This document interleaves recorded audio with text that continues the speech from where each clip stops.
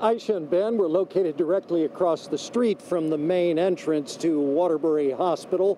This apartment building and a two family house behind it, a total loss. Demolition has begun. But as we told you at the top of the show, about a half an hour ago, a city source texted me to say a man who was unaccounted for, uh, his body has now been discovered.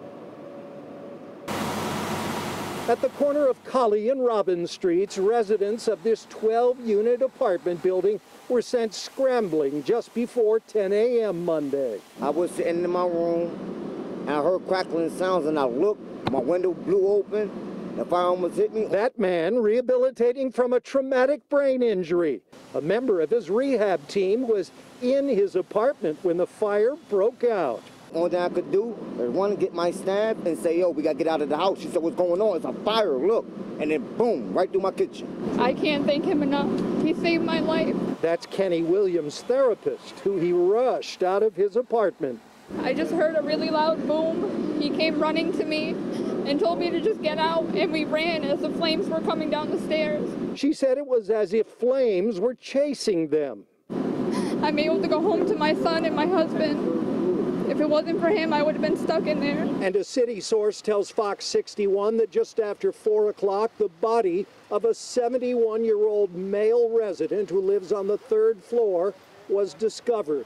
But this man made it out of a third floor window. There's a pole on the side of my building, so I grabbed it and I shimmied down a little bit. I got down to about the second floor and I jumped off. A source tells Fox 61 the fire may have been started while residents were working on a moped or a scooter on their apartment porch. Before the fire, I left out and I seen them messing around with the moped.